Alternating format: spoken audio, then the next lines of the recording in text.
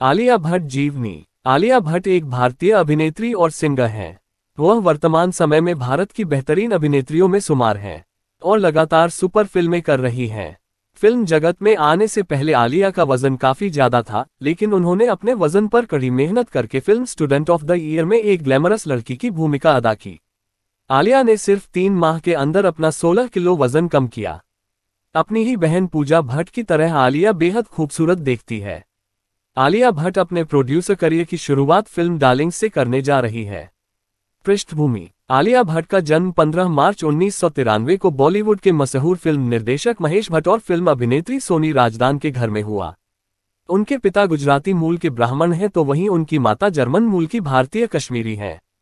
आलिया भट्ट के पास भारतीय नागरिकता नहीं है और न ही उनके पास भारतीय पासपोर्ट है। उन्होंने ब्रिटेन की नागरिकता ली है और उनके पास संयुक्त राजशाही पासपोर्ट भी है। पढ़ाई। आलिया भट्ट ने ज़्यादा पढ़ाई नहीं की है। उन्होंने मात्र स्कूल लेवल तक पढ़ाई की है। उनकी कॉलेज की पढ़ाई फ़िल्मों में उनके करियर के कारण नहीं शुरू हो सकी। शादी। आलिया भट्ट ने 14 अप्रैल 2022 को रणबीर कपूर से शादी की है। बता दें कि नवंबर 2022 में इस कपल की एक प्यारी सी बेटी हुई है।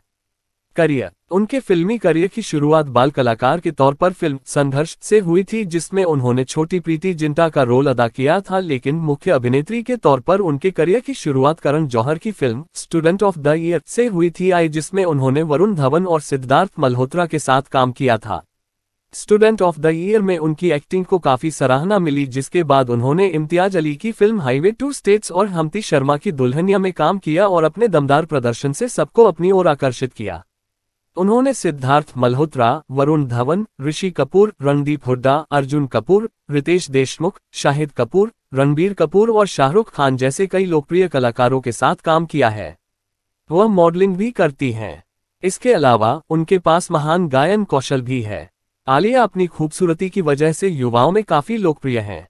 प्रसिद्ध फ़िल्में, Student of the Year, Highway, Two States, Humpty Sharma की दुल्हनिया और गली बॉय।